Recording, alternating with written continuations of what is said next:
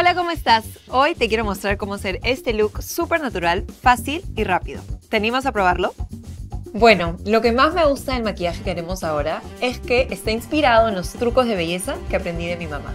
Cuando era niña me dejaba agarrar todo su maquillaje, me lo probaba y es más, me daba los mejores tips. Por eso hoy quiero contártelos. Vamos a utilizar la nueva colección Al Natural de Yambal. Empecemos. Bien, el primer paso es emparejar la piel. Recuerdo que mi mamá siempre me decía que lo más importante es que te sientas cómoda. Por eso busco opciones naturales y ligeras como esta nueva base. Comenzamos agitándola un poco y ya está. Mira su textura, me encanta porque casi ni se siente. Es deliciosa, súper ligera, Empieza cubriendo todo el rostro y aplica también un poco por el cuello. Como tiene una cobertura modulable, puedes agregar más capas sin que deje de sentirse ligera. Es espectacular.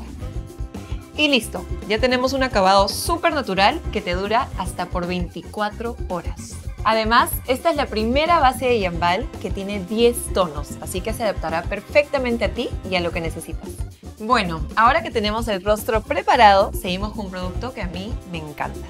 Es este nuevo bronceador y contour, un 2 en 1 perfecto para perfilar tu rostro. El truco que siempre me da mi mami es no recargar mucho la brocha.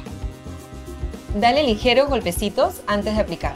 De esa forma no te excedes en la cantidad. Perfilamos los pómulos de arriba hacia abajo y al costado de la nariz. Luego iluminamos la parte superior de las mejillas y un poco los costados de la frente.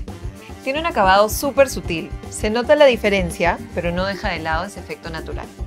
Bueno, pero eso no es todo. Mi mamá siempre me decía que con el maquillaje no hay reglas, así que libera tu imaginación. Fue así que se me ocurrió usar el bronceador como sombras. Queda espectacular.